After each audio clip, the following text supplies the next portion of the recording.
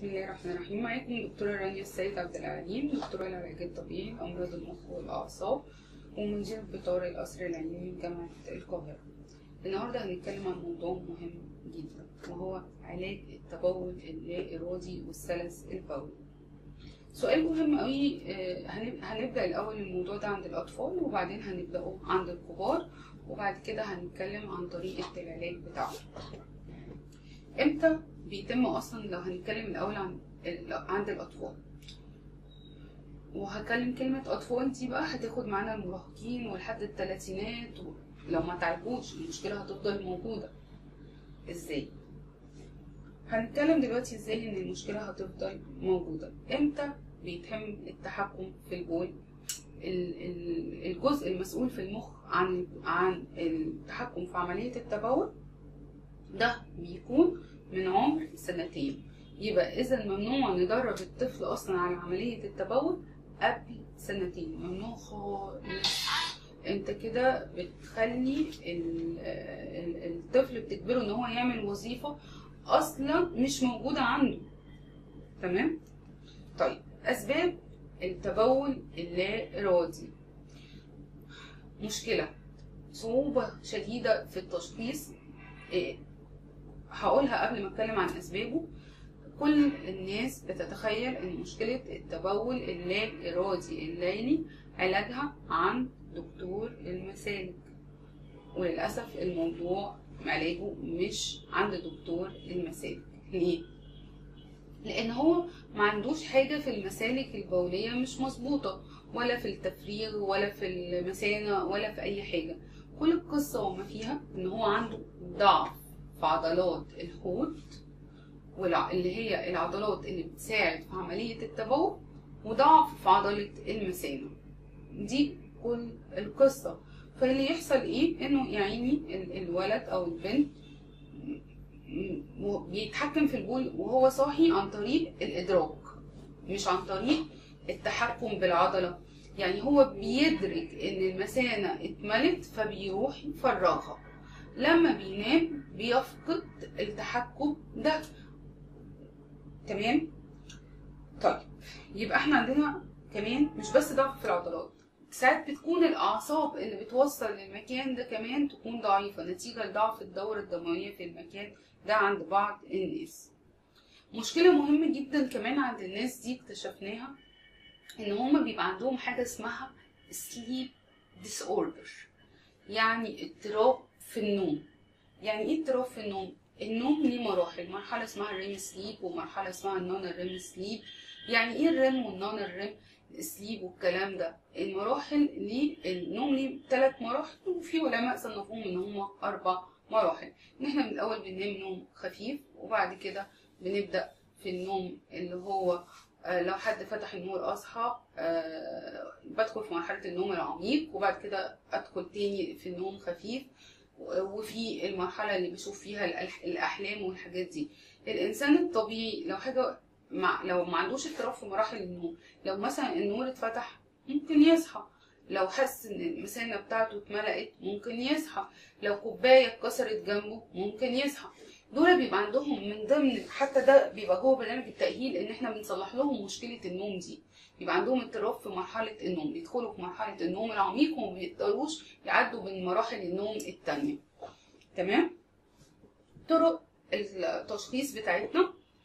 بنتأكد إزاي؟ طب انت يا دكتورة جاتلك الحالة بتتأكدي إزاي إن هو فعلا عنده تبول لا إرادي؟ لازم بيدخل تحت فحص بجهاز معين.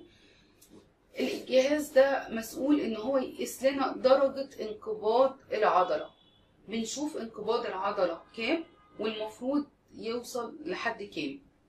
وبعد كده بناخد القرار إن كان العضلات بتاعته أقل من رقم معين فبنقول إن ده عنده ضعف في عضلات المثانة والحوض وإن كان العضلات بتاعته آه، يعني ضعيفة بيبدأ بيدخل طبعا في العلاج عندنا. يبقى كده اتأكدنا إن ده تبول لا إرادي. التبول اللا إرادي اللي في السن ده بيبقى لين ليه ساعات بي- بيبقوا ناس مش أطفال مش ست سنين ومش تمن سنين ومش عشر سنين؟ بشوف ناس تلاتينات آه شفت ناس تلاتينات. ما تعالجوش.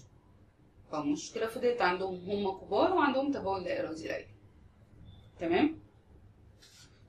طرق العلاج. طبعا بنزود الدورة الدموية اللي رايحة للعصب عن طريق أجهزة خاصة بإنها تزود الدورة الدموية الدقيقة بجهاز أمريكي مخصوص عشان القصة دي.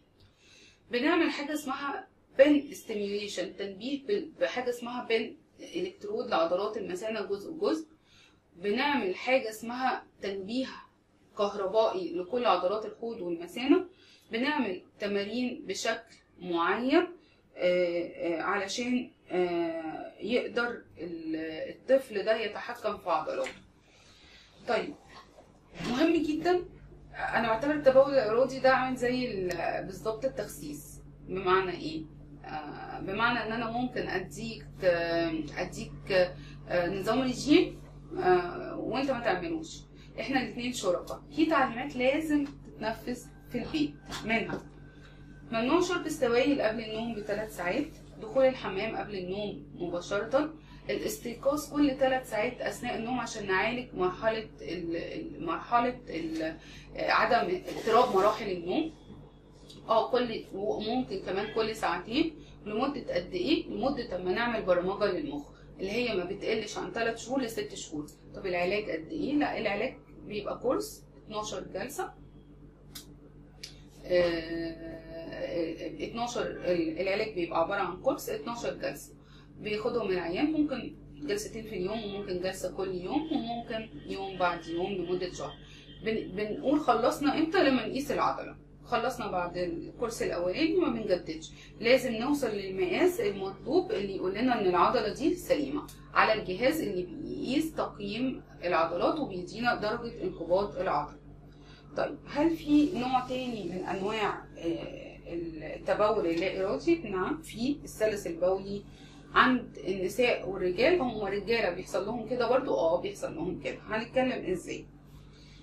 آه، في بعض النساء مع الولادات المتكررة بيحصل لهم حاجة اسمها stress incontinence النتيجة إن بتضعف عضلات الحوض وبتضعف عضلات المهبل تيجي تكح أو تعطس ينزل منها نقطة بول آه، وفي آه، برضو بيحصل ساعات في السن الكبير حاجة اسمها فرط في نشاط المثانة.